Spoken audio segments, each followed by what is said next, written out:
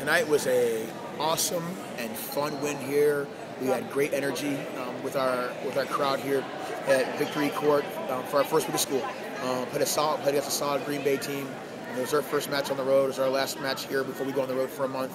But I think our team really responded to, to the weekend and played a pretty high level for a lot of for a lot of the, the match. Um, passed the ball really well, played really good defense, and scored when we needed to. I'm excited to play uh, um, on the road this weekend and for the next month. Um, but it was great to end with a win here at Victory Court.